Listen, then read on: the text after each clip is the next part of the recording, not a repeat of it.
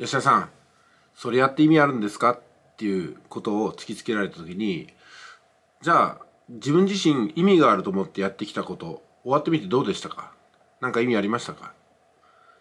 どうですか？稼げるようになりましたか？自由になりましたか？どうでしょうか？もしかしたら私がやってることは意味がないように見えるけどもでも現実はどうでしょうか？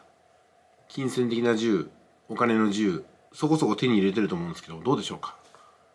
でご自身で意味があると思ってやってきたことの結果はどうでしょうか？いまだにお金の不自由から逃れられずに時間がなかなか余裕がなかったり何が意味があるのか何が意味がないのか迷ってる状態じゃないですか？と。まここにも一つなんか意味が残ったような気がしますね。いらっしゃい。